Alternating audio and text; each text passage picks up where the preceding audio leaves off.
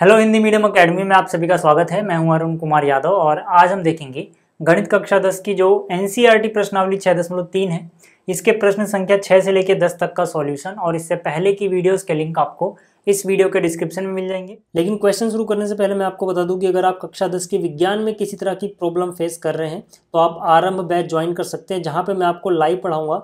मतलब जितनी भी क्लासेस इसमें होंगी, वो सभी की सभी लाइव होंगी। और ये जो बैच रहेगा या ये जो कोर्स रहेगा, ये एन बेस्ड रहेगा मतलब जितने भी चैप्टर आपके एन में हैं, वो सभी मैं आपको अच्छे से कवर करा रहा हूँ आपकी डाउट क्लासेस भी होंगी पी में आपको नोट्स भी मिलेंगे। साथ ही साथ हम प्रीवियस ईयर्स के क्वेश्चंस भी देखेंगे और चैप्टर वाइज इंपॉर्टेंट क्वेश्चंस भी इसमें हम देख रहे होंगे। तो अगर कोई भी आपको दिक्कत है विज्ञान कक्षा दस में, अगर आप हिंदी मीडियम से हैं तो आप आरंभ बैच को ज्वाइन कर सकते हैं। बहुत ही कम प्राइस रखा है मैंने इसका। और ये बैच ज्वाइन करने के लिए आपको प्ले स्टोर से ए के स्टडी ऐप डाउनलोड करना है। तो यहाँ पर देखो जो प्रश्न संख्या छः है, इसमें क्या बोला गया? इसमें बोला गया आकृति छः दशमलव तीन सात, जो कि आपको यहाँ पे आकृति दिख रही है। इसमें यदि त्रिभुज ए बी ई सर्वांगसम है, त्रिभुज ए जी ए सी डी के। देखो यहाँ पे ए बी ई मतलब ये वाला जो त्रिभुज है, ये सर्वांगसम किसके है? ए सी डी यानी इसके। ठीक है, अगर ऐसा है तो दर्शाइए कि A D E A B सी के समरूप होगा। ठीक है ए डी ई मतलब ये छोटा वाला, ये समरूप दर्शाना है ए बी सी यानी इस बड़े वाले त्रिभुज के। ठीक है?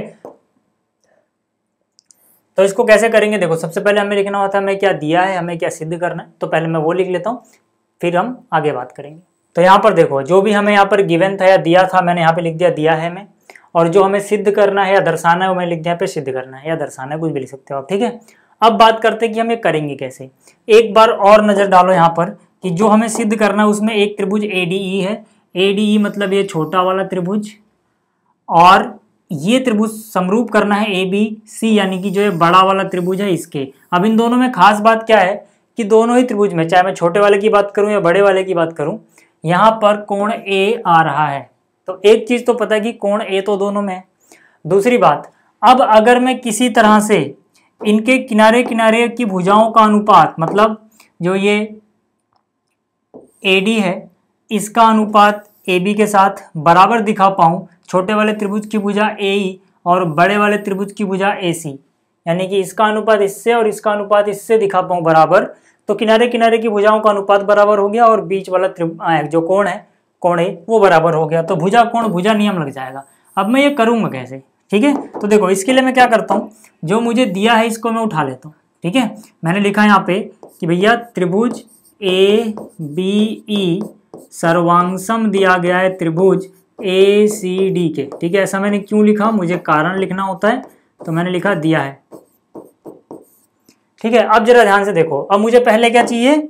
मुझे चाहिए ए डी बटे में ए बी बराबर ए ई बटे में ए सी ठीक है, ये कैसे लेके आऊँगा? सीधी सी बात है, पहले इसमें ए डी ढूंढो। कहीं दिख रहा है क्या ए डी ये रहा। शुरू का अक्षर और लास्ट का अक्षर मिला के क्या बन रहा है? ए डी तो अगर ये दोनों त्रिभुज सर्वांगसम है तो इनकी संगत भुजाएँ बराबर होंगी। संगत भुजा कैसे ढूंढते हो आप यहाँ से? शुरू का और लास्ट का अक्षर अगर लिया है, तब ए डी बनाए। तो इसके शुरू और लास्ट का अक्षर देखो, क्या मिल रहा है? ए तो यहाँ से मैं बोल सकता हूँ ए ई बराबर ए डी हो गया। ठीक है? मुझे क्या पता लगा यहाँ से? ए ई बराबर ए डी यही क्यों लिखा? और कुछ क्यों नहीं लिखा? क्योंकि मुझे सबसे पहले नज़र आ रहा है ए डी तो मुझे चाहिए यार। ए डी के बटे में मुझे ए बी रखना है। तो ए डी यहाँ से मिल रहा था, उसके कॉरेस्पॉन्ड में ए ई आ गया। तो मतलब ये दोनों बराबर लिख लिया। ठीक है? इसका कारण आपने पढ़ा हुआ है सीपीसीटी इसका मतलब होता है, सर्वांगसम त्रिभुजों के संगत भाग बराबर होते हैं। ये हमने क्लास नौ में ही किया था। ठीक है, एक बात ये हो गई, ठीक है? अब देखो यार, मुझे क्या चाहिए होगा? मुझे चाहिए होगा ए डी बटे में ए बी तो मुझे ए बी ढूंढना है भैया। ए बी कहाँ पर है? ए बी ढूंढो, जो यहाँ पर आपको समरूप सर्वांगसम दिया गया त्रिभुज, इसी में से देखना है ए बी तो ए बी कहाँ से मिल रहा है? शुरू के दो अक्षर मिला दो ए बी तो इसके संगत में कौन आएगा? शुरू के दो अक्षर यहाँ मिलाओ ए सी यानी कि ए बी ए सी के बराबर होगा, पक्की बात है। ठीक है? तो मैंने यहाँ पे क्या लिख दिया? ए बी बराबर ए सी ठीक है? ये भी कैसे हो गया? बाई सीपीसीटी अब देखो यार, अब मुझे क्या करना है? मुझे चाहिए ए डी फिर उसके नीचे ए बी तो यहाँ पे इसको थोड़ा बदल लेते हैं। ए डी को पहले लिख दो। मतलब ये वाला इधर लिख दो, ये वाला इधर लिख दो, कोई फ़र्क नहीं पड़ रहा। ठीक है? बराबर ए उधर लिख दिया। इसको मैंने बोल दिया समीकरण एक इसको बोल दिया? समीकरण दो। ठीक है? अब समीकरण एक और दो को भाग कर दो। समीकरण एक को भाग कर दिया समीकरण दो से। भाग करने का मतलब ये ऊपर, ये नीचे। तो ए डी डिवाइड हो गया ए बी बराबर। जो इधर है उनको आपस में भाग में लिख दो। यानी कि ऊपर लिखा ए ई और नीचे लिख दिया ए सी ठीक है? अब जरा देखो, कहाँ तक हम सिद्ध कर चुके हैं?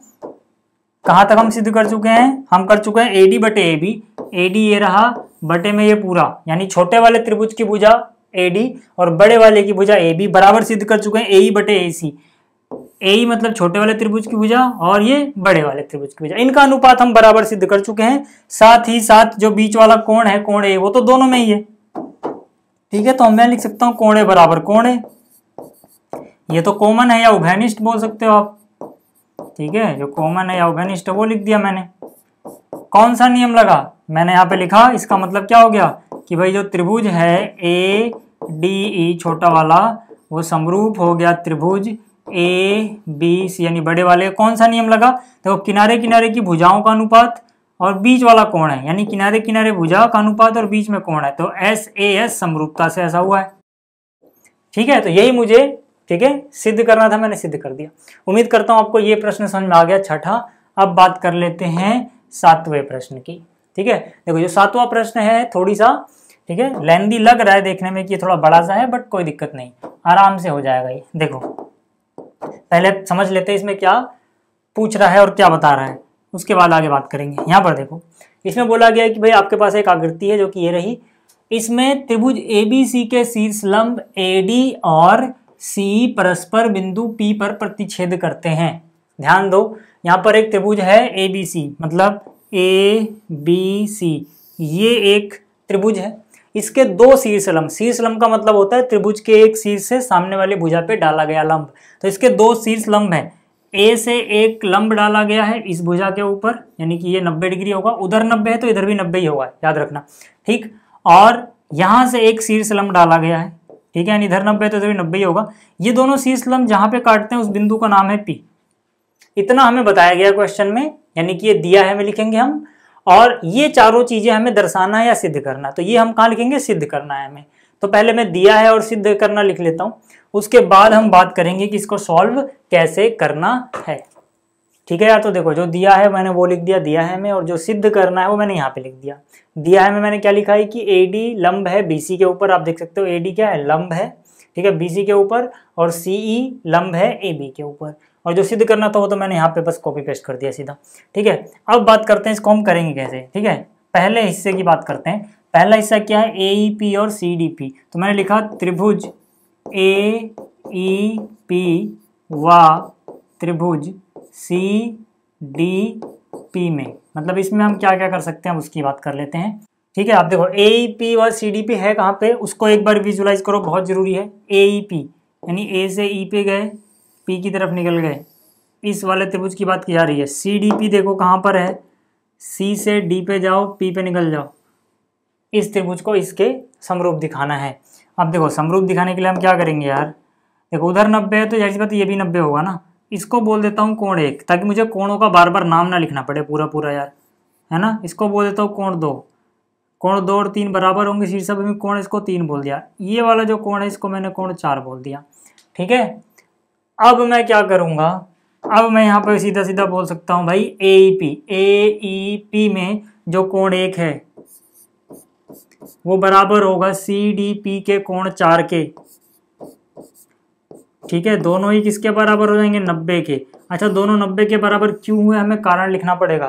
तो हम लिखेंगे यार सी ई जो है ना, वो लंब दिया गया है किसके ऊपर? ए बी के ऊपर। तो यार अगर ये लंब दिया है तो ये नब्बे डिग्री होगा, ठीक है? और ए डी जो है ना, वो लंब दिया गया है बी सी के ऊपर, ये दिया है। इतनी बात समझ में आ गई? दूसरी बात A E P A E P A red वाला जो ट्रायंगल दिख रहा है, इसका कोण दो। बराबर होगा जो ऊपर सी डी पी दिख रहा है, उसके कोण तीन के। अच्छा ये क्यों बराबर है? ये तो मैंने बताया था कि भाई ऐसे जब दो रेखाखंड आपस में काटें तो ये आमने सामने के कोण बराबर होते हैं, इनको बोलते हैं शीर्षाभिमुख कोण। ठीक है? तो यहाँ पर ये और ये आपस में पी पे काट रहे हैं तो आमने सामने के कोण यानी शीर्षाभिमुख कोण बराबर होंगे। शीर्षाभिमुख कोण। ठीक है? जैसे ये बराबर हुए, हम क्या बोल सकते हैं? एंगल एंगल, यानी कोण कोण समरूपता से। भाई दो कोण अगर त्रिभुजों के बराबर हो गए तो कोण कोण समरूपता लग जाएगी। तीसरे कोण की ज़रूरत नहीं है, वो बराबर ही होगा। त्रिभुज ए ई पी समरूप हो गया।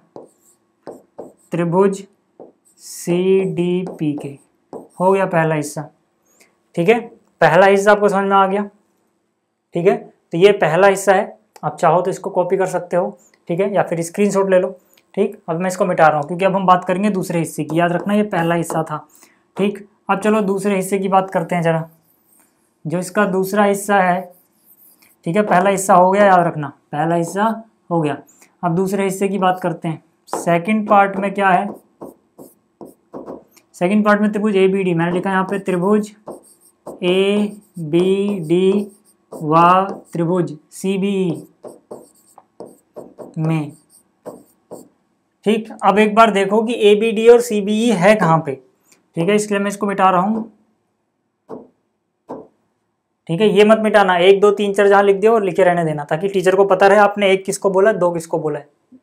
अब ए बी डी और सी बी ई की बात करते हैं। A B E A B D ठीक है? ए से बी पे जाएँगे डी की तरफ़ निकल जाएँगे। ठीक है, थोड़ा टेढ़ा हो गया।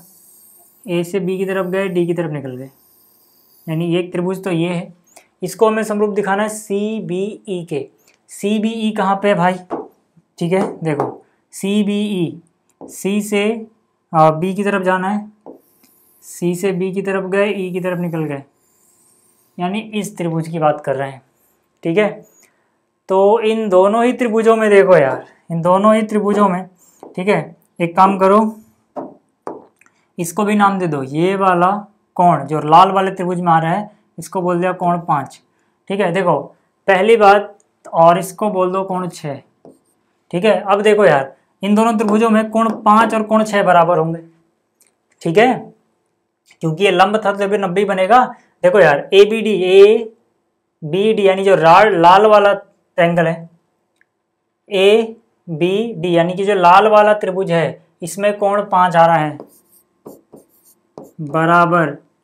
और जो ये पीला वाला त्रिभुज है, ठीक है, इसमें देखो यहाँ पे कोण छः आ रहा है तो कोण पाँच और कोण छः प्रत्येक नब्बे डिग्री का है। क्यों है नब्बे डिग्री? आप सीधा सीधा वही रीजन लिखोगे यार, क्योंकि सी लंब है बी के ऊपर। तो ज़ाहिर सी बात है, इधर भी ये नब्बे होगा, उधर भी नब्बे होगा, हमें छः से मतलब है। और ए डी लंब है, फिर से बी सी के ऊपर। ये हो गया। दूसरी बात इस बार क्या हो रहा है देखो, चाहे आप इस रेड वाले ट्रायंगल की बात करो, इसमें भी कोण बी आ रहा है। चाहे आप इस पीले वाले त्रिभुज की बात करो, इसमें भी कोण बी आ रहा है। तो कोण बी दोनों में भैया, कोण बी बराबर कोण बी कॉमन या उभयनिष्ठ ठीक है? चाहे आप कॉमन लिख दो, चाहे उभयनिष्ठ लिखो, एक ही बात है। समझ में आगे बात? तो फिर से एंगल एंगल समरूपता से एंगल एंगल समरूपता से। त्रिभुज ए बी डी समरूप हो गया त्रिभुज सी बी ई के ठीक है भैया, दूसरा हिस्सा भी हो गया। अब तीसरे हिस्से की बात करेंगे, इसका स्क्रीनशॉट ले लो। ठीक है, मैं इसको मिटा रहा हूँ। तीसरे हिस्से की बात कर लेते हैं यार अब। इसको रहने देते हैं। ठीक है, ये मैं लिखना ही होता है। क्या आपका इस बार भी लिखना हो, इसलिए मैं इसको रहने दे रहा हूँ। ठीक है, तीसरे हिस्से की बात कर लेते हैं। दूसरा हिस्सा हो गया तीसरे हिस्से पे आओ। तीसरे हिस्से में क्या देखो? ए ई पी और ए डी बी मैंने लिखा त्रिभुज। ए ई पी व त्रिभुज ए डी बी में। पहले देखते हैं, है कहाँ पे? ठीक है, इसको मिटाते हैं। जो आपने नंबरिंग करी है, फिर से बोल रहा हूँ, वो मत मिटाना। ए E P A E P कहाँ पे है भैया? ए ई पी ए से ई पे गए पी पे निकल लिए। ये रहा। ठीक है भाई। ए डी बी कहाँ पे है? ए से डी पे जाओ, ठीक है? ए से डी पे जाओ और बी की तरफ़ निकल लो, यानी ये वाला। समझ रहे हो? ये जो रेड वाला दिख रहा है, हल्का सा मिटिया ये जो रेड वाला दिख रहा है, इसको ये पीला वाला दिख रहा है, इसके, यानी कि ए पी और ए डी बी इसमें देखो क्या खास बात नज़र आ रही है? ए कौन? ए एक तो दोनों में है। चाहे आप इस लाल वाले की बात करो, इसमें भी कौन ए आ रहा है। अब इस पीले वाले कोण की बात करो, इसमें भी ए आ रहा है। और लाल वाले का कोण एक, ठीक है, देखो लाल वाली लाइन यहाँ से गई, यहाँ मुड़ गई। यानी कोण एक लाल वाले में है और पीले वाले में देखो यहाँ से गई, यहाँ मुड़ गई, यानी कि पांचवा। तो कोण एक बराबर पाँच है भाई साहब, ठीक है? कोण एक कोण एक बराबर कोण पाँच, प्रत्येक नब्बे डिग्री है। नब्बे डिग्री क्यों है? ये लंब है। तो एक इसका और पाँच उसका बराबर हो गए और कोणे दोनों में। कोणे बराबर कोणे। दोनों में हो मतलब कॉमन है। या उभयनिष्ठ लिख सकते हो। ठीक है तो फिर से यार, त्रिभुज ए ई पी समरूप हो गया त्रिभुज ए डी बी के कौन सा नियम लगा? कौन कौन समरूपता।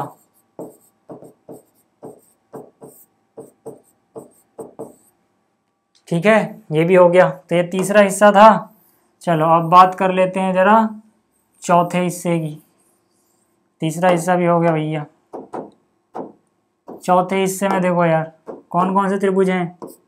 त्रिभुज पी डी सी व त्रिभुज बी ई सी में। कहाँ पे है? ज़रा पहले इनको विजुलाइज करो। पहले इसके लिए इसको मिटाना पड़ेगा। ठीक है?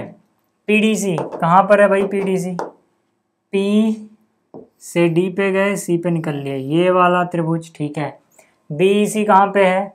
बी से ई पे गए। इसको कलर चेंज करते हैं।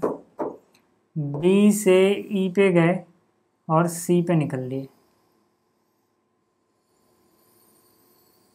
ठीक है? तो ये लाल वाला जो त्रिभुज छोटा सा दिख रहा है, इसको पीले वाले के करना इस हिसाब से। नाम ऐसे होना चाहिए। P D C B C कैसे करेंगे? देखो यार इन दोनों में। खास बात क्या नज़र आ रही है? जो ये लाल वाला त्रिभुज है, देखो ध्यान से। लाल वाली जो भुजा गई, ये यहाँ से यहाँ मुड़ गई। मतलब लाल वाले का जो कोण चार है, वो नब्बे है। और जो ये बी ई सी है, इसका कोण छः नब्बे है। तो मैं कह सकता हूँ कि भैया कोण चार बराबर कोण छः, प्रत्येक नब्बे डिग्री। ठीक है? रीजन वही रहेगा, ये इसके परपेंडिकुलर, वो उसके परपेंडिकुलर मतलब लंब। ठीक है? और क्या है इस दोनों में? और इन दोनों में क्या है? कौन सी दोनों में है, देख लो जाए। कौन सी बराबर कौन सी कॉमन है इस बार। कौन सी लाल वाले त्रिभुज में भी आपको दिख रहा होगा, और पीले वाले त्रिभुज में भी दिख रहा होगा। ऊपर देखो कौन सी। ठीक है? तो फिर से यार जो त्रिभुज है पी डी सी समरूप हो गया त्रिभुज बी ई सी के एंगल एंगल समरूपता से। ठीक है? तो ये समझ में आ गया वो आपको प्रश्न संख्या सात। ठीक है? थोड़ा टाइम लगा बट आसान प्रश्न था ये। अच्छा अगला वाला जो प्रश्न है, प्रश्न संख्या आठ, इसको देखो। इसमें बोल रहा है, समांतर चतुर्भुज ए बी सी डी की बढ़ाई गई भुजा ए डी पर स्थित ई e एक बिंदु है। अब ये फिगर सही समझ में आएगा आपको। तथा बी ई भुजा सी डी को एफ़ पर प्रतिच्छेद करती है, इसको दर्शाना देखो, जब तक फिगर नहीं बनाऊँगा ना, समझ नहीं पाओगे। अब फिगर बनाता हूँ। ए बी सी डी एक समांतर चतुर्भुज है, बना लो। तो यहाँ से एक समांतर चतुर्भुज बनाया मैंने। ठीक है? जिसका नाम लिखा ए बी सी डी क्या कह रहा है? कि भैया ए डी पर कोई बिंदु ई e स्थित है। ए डी को बढ़ाया गया। ए पहले है, फिर डी है। मतलब ए से डी की तरफ़ बढ़ाना है। तो ए से डी की तरफ़ बढ़ा दिया ऐसे। ठीक है ना? इसको आगे बढ़ाया। कहाँ तक बढ़ाया गया है? बिंदु ई e तक। इसका नाम लिख दिया ई e. तथा बी बी कैसे बनेगा? जब बी और ई को जोड़ोगे। देखो यार बी और ई को जोड़ दो। ये हो गया बी ई तो बी ने सी डी को काटा। तो ये कह रहा है बी ई भुजा सी डी को एफ़ पर काटती है। यानी जहाँ पर प्रतिच्छेद करती है, काटती है, उस बिंदु का नाम है एफ़ इतनी बात समझ में आई? देखो, फिर समझाता हूँ। एक समांतर चतुर्भुज है A B C D A D को बढ़ा दिया गया ई e तक। बी ई e को मिलाया तो ज़ाहिर सी बात है इसको सी डी को काटती हुई जाएगी। जहाँ पे काटा वो एफ़ है। ठीक है? हमें दर्शाना है ए बी ई और सी एफ़ बी समरूप हैं। कहाँ पे हैं ये ए बी ई ए से गए बी पे बी से गए ई e पे, यानी ये त्रिभुज समरूप दिखाना है सी एफ़ बी कहाँ पे है सी एफ़ बी सी से गए, एफ़ पे निकल गए, बी पे। इन दोनों को हमें क्या दिखाना है? इन दोनों को हमें समरूप दिखाना है। बहुत आसान है यार। पहले दिया है और सिद्ध करना है, दर्शाना है, लिख लेता हूँ, फिर बात करता हूँ कैसे करेंगे इसको। ठीक है? तो देखो यार, जो दिया है, वो मैंने दिया है मैं लिख दिया। जो हमें सिद्ध करना है या दर्शाना है, वो मैंने सिद्ध करना है मैं लिख दिया। ठीक है? हमें क्या क्या दिया था? ए, बी, सी, डी, एक समांतर चतुर्भुज है। ये समांतर चतुर्भुज लिखने का तरीका होता है शॉर्ट में। और ए, डी को ई e तक बढ़ाया गया है, बी, सी, डी को एफ़ पर काटती है। ठीक है, ये सब मैं लिख दिया। जो सिद्ध करना था वही रहा। अब बात करते हैं सिद्ध कैसे करेंगे। बहुत आसान है, देखो।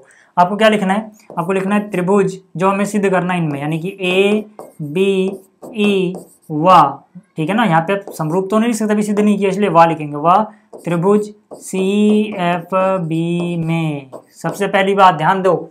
जो ये रेड वाला त्रिभुज है, यानी कि ए बी ई इसका कोण ए ठीक है ना? इसका कोण ए और जो सी एफ़ बी है, इसका कोण सी बराबर होगा।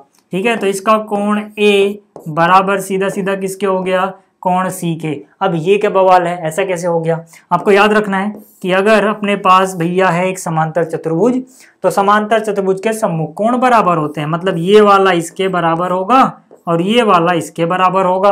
अभी फ़िलहाल हमें इससे मतलब नहीं है, ठीक है? हमें क्या करना है? हमें इन दोनों से मतलब है तो इन दोनों को मैंने बराबर दिखा दिया। देख लो यार ए और सी सम्मुख कौन ही तो आमने सामने के, समांतर चतुर्भुज में। ठीक है ना? क्योंकि हमें जो ये त्रिभुज चतुर्भुज दिया गया है ना, ये पूरा, ये एक समांतर चतुर्भुज है। तो ये वाला कोण, इस कोण के सम्मुख कोण होगा और ये बराबर होंगे। क्योंकि समांतर चतुर्भुज के सम्मुख कोण बराबर होते हैं। ये लिखना पड़ेगा तो मैं लिख देता हूँ। ठीक है? एक बात तो हो गई। अब जरा आ जाओ इधर। ठीक है? जो लाल वाला त्रिभुज दिख रहा है ना आपको इसके, इस कोण को बोल दो, चलो यार, कोण एक, और ये जो दिख रहा है ना, इसको बोल दो, कोण दो। मैं सीधा सीधा बोल सकता हूँ, भैया, कोण एक बराबर कोण दो। ठीक है? क्यों हुआ ऐसा? क्योंकि अंत एकांतर कोण है। अंत एकांतर कोण कैसे हैं, समझा देता हूँ। लिख लू पहले ही ध्यान से देखना। देखना तो ध्यान से ही पड़ेगा ना भाई। देखो, ये ध्यान से देखना। ये जो भुजा है बी सी और ये जो भुजा है ए डी ये समांतर चतुर्भुज की सम्मुख भुजाएँ भुजाएँ हैं। तो समांतर चतुर्भुज की सम्मुख भुजाएँ समांतर ही होंगी। ठीक है? अब इसी भुजा को आगे बढ़ाया गया है, यानी कि ये टेढ़ी मेढ़ी नहीं, बिल्कुल ऐसे ही आगे गई है। तो यानी ये पूरा इस पूरे के समांतर ही होगा। ये समझ लो तिरक रेखा अपनी। ठीक है? तो जो ये समांतर भुजाएँ हैं, उनको अगर तिरक रेखा ऐसे काटे तो इधर वाला कोण, इधर वाले कोण के बराबर होगा, इसे हम बोलते हैं अंत एकांतर कोण। ठीक है? ये समांतर भुजाएँ, ये तिरक रेखा, ये और ये एकांतर कोण हो गए। ठीक है? अब जैसे इतना हुआ, इनके दो कोण हमें मिल गए बराबर भैया। दो कोण बराबर मतलब कौन सा नियम लगा सकते हैं? कोण कोण समरूपता से।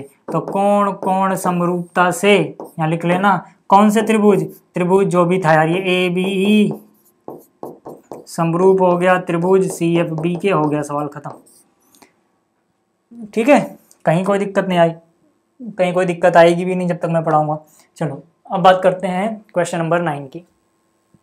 क्वेश्चन नंबर नाइन बहुत आसान है। ठीक है, इसको भी समझो पहले। देखो, प्रश्न को समझने में थोड़ा टाइम दिया करो, ठीक है? शुरुआत में ये मत सोचो कि सॉल्व कैसे होगा। पहले समझो, इसमें बताया क्या है, पूछा क्या है। ठीक? देखो, यहाँ पे फिर से हमें एक आकृति दी गई है, ये रही। इसमें ए बी सी और ए एम पी दो समकोण त्रिभुज हैं। ए बी सी कहाँ पे विजुअलाइज करो। ए बी सी ये रहा। इसका कोण बी नब्बे है मतलब ये समकोण त्रिभुज है। ए एम पी कहाँ पे है? देखो ए से एम पे गए पी पे निकल गए, यानी कि ये वाला। ठीक है? इसमें देखो, ये वाला नब्बे है मतलब ये भी समकोण त्रिभुज है। ठीक है? अब आगे बोल दिया गया बी और एम समकोण है। अब हमें ये चीज़ें सिद्ध करनी है। ठीक है? तो हम क्या करते हैं पहले? दिया है लिखते हैं, उसके बाद सिद्ध है करना लिखते हैं, फिर आगे बात करेंगे, ठीक है? तो पहले मैं लिख लेता हूँ। तो अब देखो यार, जो भी हमें पता था, ठीक है, वो मैंने लिख दिया दिया है हमें, ठीक है? मतलब ए बी सी में कोण बी नब्बे है ए एम पी त्रिभुज में कोण एम नब्बे है, ये हमें बताया गया दूसरी बात, जो हमें सिद्ध करना था, ये दोनों पॉइंट मैंने यहाँ पे लिख दिया, अब एक एक करके बात करते हैं। सबसे पहले, जो पहला पॉइंट सिद्ध करना है, इसी पे आ जाओ। मैंने लिखा पहले पॉइंट में, ठीक है? यानी कि त्रिभुज ए बी सी ठीक है, व त्रिभुज ए एम पी में। बहुत आसान प्रश्न है, देख लो यार। एबीसी कहाँ पे है? ये रहा ये रहा एबीसी इसमें कोण बी कितना आ रहा है? नब्बे डिग्री आ रहा है, ठीक है? तो कोण बी हो गया और अगले वाले में, यानी इसमें कोण एम नब्बे आ रहा है। तो सीधी सीधी बात है कि कोण बी बराबर कोण एम लिख सकते हैं। तो मैंने सीधा सीधा लिख दिया, कोण बी बराबर कोण एम ठीक है? क्यों है ये बराबर? क्योंकि प्रत्येक नब्बे डिग्री दिया है। हर एक नब्बे डिग्री है। सीधी सी बात हो गई। दूसरी बात कोण ए बराबर कोण ए कोण ए बराबर कोण ए भाई अब चाहे ए बी सी देख लो। इसमें भी कोण ए आ रहा है? ए एम पी देख लो। इसमें भी कोण ए आ रहा है? दोनों में है मतलब कॉमन या उभयनिष्ठ लिख दो। अब जैसे इतना हुआ, त्रिभुज ए बी सी समरूप हो गया त्रिभुज। ए एम पी के, ठीक है? कौन सी समरूपता लगी? कौन कौन समरूपता से लिख लेना, ठीक है? अब आगे आ जाओ, ठीक है? अब देखो, जो सेकंड हिस्सा है इसका, ये तो ऐसे ही हो जाएगा, क्यों? क्योंकि त्रिभुज हमने समरूप कर दिए और ये जो मैं सिद्ध करना है ना, इसी, इन्हीं त्रिभुजों की संगत भुजाओं का अनुपात है तो हमें पता है यार, त्रिभुज अगर समरूप हो तो उनकी संगत भुजाओं का अनुपात बराबर होता है कैसे करेंगे? कोई एक तो देख के लिख लो, जैसे मैंने लिख दिया सी ए अगर मैंने सी ए देख के लिखा है तो इसके नीचे वाला मैं यहाँ से नहीं लिखूँगा, बल्कि यहाँ से देखूँगा कि कौन किसके संगत आ रहा है। जैसे सी ए है सी ए का संगत कौन आएगा, कैसे पता लगेगा? सी ए कैसे बना? लास्ट का अक्षर और शुरू का अक्षर। तो वहाँ से मुझे लास्ट का अक्षर और शुरू का अक्षर उठा लेना है पी ए यानी कि सी ए के नीचे पी ए ही आएगा। अब मैं देखूँगा क्या यही चीज़ जो मुझे लानी थी? बिल्कुल। ठीक है? बराबर। कोई एक तो देख के लिख सकते हैं बी सी अगर बी सी मैंने यहाँ से उठा लिया, तब इसके नीचे कौन आएगा? देखो बी सी कैसे बन रहा है? शुरू, बीच वाला अक्षर और लास्ट वाला अक्षर बी सी तो इसमें बीच वाला अक्षर और लास्ट वाला अक्षर एम पी वही तो चाहिए यार। ठीक है, हो गया सिद्ध। क्या कारण लिखोगे? यहाँ पे आप लिख लेना। बहुत लंबा है तो मैंने लिख रहा। आप लिखना, समरूप त्रिभुजों की संगत भुजाओं का अनुपात बराबर होता है। खत्म। ठीक है? तो यार ये प्रश्न भी हो गया प्रश्न संख्या नौ। अब बात कर लेते हैं प्रश्न संख्या दस की। तो अब देखो, जो ये प्रश्न संख्या दस है, इसमें इतना लंबा चौड़ा लिखा हुआ है, ठीक है? बिना फिगर के समझ में आएगा मतलब आकृति के, क्योंकि इसमें आकृति नहीं है। तो अगर मैं इसको पढ़ूँ भी तो सब कुछ दिमाग के ऊपर से जाएगा। यहाँ पर देखो, ऐसे समझाता हूँ फिगर के साथ। यहाँ पे क्या बोला गया है? यहाँ पे कह रहा है कि भैया, अपने पास दो त्रिभुज हैं, ठीक है ना? एक का नाम है एबीसी और दूसरे का नाम है एफईजी तो पहले ये बना लेता हूँ मैं, फिर आपको समझ में आएँगी चीज़ें। देखो, मैंने बनाया एक ये त्रिभुज, इसका नाम रखा ए बी सी और एक दूसरा त्रिभुज मैंने बनाया, उसका नाम रखा एफ़ ई जी अब अगर मैं क्वेश्चन पढ़ूँ ना, और साथ साथ फिगर कंप्लीट करता रहूँ, तब आपको समझ में आएगा। देखो, ये दोनों कैमरे में आ रहे हैं? हाँ। ठीक? अब देखो, यहाँ पर। सी डी और जी एच ए सी बी और ई जी एफ़ के संधि भाजक हैं। कोण ए सी बी कहाँ है? ए से सी पे गए बी की तरफ़ निकल गए। यानी इस कोण का जो समधि भाजक है ना, उसको बोल रहे हैं ये सी डी तो सी तो यहीं पे है समधि भाजक मतलब बराबर बराबर टुकड़े, यानी कि ये हो गया। इस कोण का समधि भाजक मतलब ये वाला टुकड़ा को, ये वाले टुकड़े के बराबर है। ठीक है, ये वाला कोण इस वाले कोण के बराबर है। जितना भी कोण सी था, उसको आधे आधे में बांट दिया इसने। और जो जी एच है ना, वो ई जी एफ़ यानी कि ई e से जी की तरफ़ गए एफ़ की तरफ़ निकल गए। ठीक है? इसका यानी कि इस कोण का समधि भाजक है तो इस कोण का समधि भाजक कहाँ होगा भाई? इसके बीचों बीच से निकाल दो। ठीक है? ये हो गया जी एच यानी कि, अब याद रहे, ये वाला कोण इस वाले कोण के बराबर हो गया, क्योंकि बराबर बराबर टुकड़े हुए हैं। अगर ऐसा है, ठीक है ना, इतना हमें बताया गया है, अगर ऐसा है तो हमें और एक और बात। ठीक है, इतना हमें बताया गया। एक और बात बताई गई है कि ए बी सी एफ़ ई जी के समरूप है। ए बी सी मतलब जो ये बड़ा वाला त्रिभुज है ए बी सी ये एफ़ ई जी यानी कि इसके बड़े वाले त्रिभुज के समरूप है। तो जो बड़े वाले नज़र आ रहे हैं ना आपको, पीले पीले त्रिभुज, ये समरूप हैं। हमें ये चारों चीज़ें दर्शाना है। कैसे करेंगे? पहले दिया है लिख लेता हूँ, दर्शाना है लिख लेता हूँ, फिर आगे बात करते हैं। तो यहाँ पर देखो यार, जो हमें दिया था और जो सिद्ध करना था मैंने यहाँ पे लिख दिया। हमें क्या दिया था कि भाई ए बी सी समरूप है एफ़ ई जी के, यहाँ पर देख लो। दूसरी बात सी डी ए सी बी का और जी एच ई जी एफ़ कोण का समधि भाजक है, ठीक है ना? और जो हमें सिद्ध करना था मैंने ऐसे मार्क कर दिया मतलब यही चार, तीनों पॉइंट आपको लिख देने अब हम कैसे सिद्ध करेंगे देखो। सिद्ध क्या करना है, अब इसको भूल जाओ। पहले एक बात याद रखो जो जो हमें पता है ना, इनकी ज़रूरत तो हमें पड़ेगी, ठीक है? मतलब जो हमें बताया गया उससे हमें क्या क्या इन्फॉर्मेशन मिल रही है, पहले मैं वो निकाल के लिख लेता हूँ। फिर जब हम इनको सिद्ध करेंगे तो वहाँ पर हम उनको यूज़ कर लेंगे। जैसे, पहले मुझे पता है त्रिभुज एबीसी में, देखो ध्यान दो, त्रिभुज ए बी सी में, ठीक है, इसको मैं बोल देता हूँ कोण एक, इसको बोल देता हूँ कोण दो, ठीक है, त्रिभुज ए बी सी में मुझे पता है सी डी जो है, वो कोण ए सी बी का समद्विभाजक है। ये तो मुझे पता ही है। मैं दिखा भी देता हूँ अभी।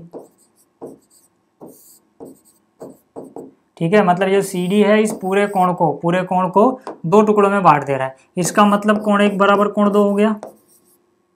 इसको समीकरण एक बोल दो। ठीक है, फिर से समझो। जिसको नहीं समझ में आ रहा। ये जो पूरा कोण था, यानी कि इतना, इसके दो बराबर टुकड़े हो गए। एक टुकड़े का नाम रखा एक एक टुकड़े का नाम रखा दो। तो क्योंकि बराबर बराबर टुकड़े हैं तो एक बराबर दो होगा। ठीक है? अभी इसकी ज़रूरत हमें पड़ने वाली है। ये लिख दिया मैंने। इसी तरह से जो ये दूसरा वाला त्रिभुज है ना, वो वाला, यानी कि त्रिभुज एफ़ ई जी में। एफ़ ई जी में। ठीक है? इसी तरह। सीधा सीधा लिख दो इसी प्रकार। इसी प्रकार, जब एक क्वेश्चन में एक हिस्से के जैसे दूसरा हिस्सा हो तो इसी प्रकार लिख के सीधा रिज़ल्ट लिख दो। इसी प्रकार, इस त्रिभुज में जो कोण तीन है, वो कोण चार के बराबर हो जाएगा यार। है ना? क्योंकि इसमें भी तो इस पूरे कोण को ये समद्विभाजित करता है मतलब ये वाला इसके बराबर होगा। ठीक है? इतनी बात समझ में आ गई? इसको मान लिया समीकरण दो। एक और बात हमें बताई गई है कि भैया त्रिभुज ए बी सी जो है ना, अभी देखते रहो पहले, जो सिद्ध करना वो बाद में सोचेंगे। त्रिभुज एफ़ ई जी के समरूप है। अगर ये समरूप है तो इनकी संगत भुजाओं का अनुपात बराबर होगा, संगत कोण बराबर होंगे। अभी भुजाओं से मतलब कुछ खास मतलब है नहीं। अभी हमें मतलब किससे है मेनली अभी हमें मतलब है कोणों से। ठीक है? ध्यान दो। तो यहाँ से मैं कह सकता हूँ कि कोण सी बराबर कोण जी होगा। अभी पहले इतना लिख लो। ठीक है? यहाँ पे क्या लिखोगे? यहाँ लिखोगे समरूप त्रिभुजों के संगत कोण बराबर होते हैं। इसको समीकरण तीन समझो। अब एक, दो व तीन से क्या मिल रहा है? समीकरण एक, दो व तीन से। ठीक है?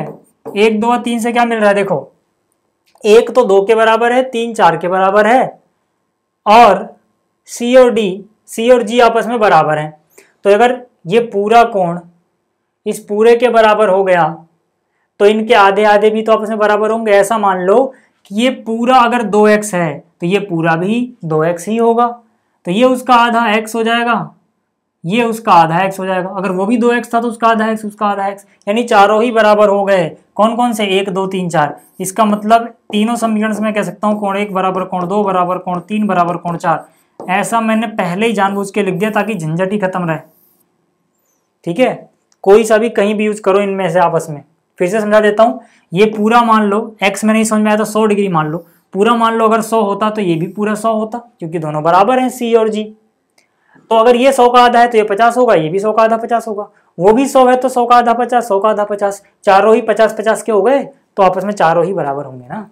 ठीक है? अब मैंने ये जानबूझ के ऐसा लिख दिया, ताकि मुझे बार बार ये तुम्हें ना दिखाना पड़े कि वो इसके बराबर क्यों, वो उसके बराबर क्यों, क्योंकि इनकी ज़रूरत पड़ने वाली है। अब बात करते हैं हम सिद्ध करेंगे कैसे। याद रहे, एक, दो, तीन, चार सारे बराबर हो चुके हैं। ठीक है? अब देखो, पहले पार्ट में सी डी बटे जी एच बराबर ए सी बटे एफ़ जी ये हमें दिखाना है, हम पहला पार्ट शुरुआत में नहीं करेंगे। क्यों नहीं करेंगे? क्योंकि तीसरा पहले करने में फ़ायदा है भैया। अगर मैं पहले तीसरा हिस्सा कर लूँ, जरा ध्यान से देखो।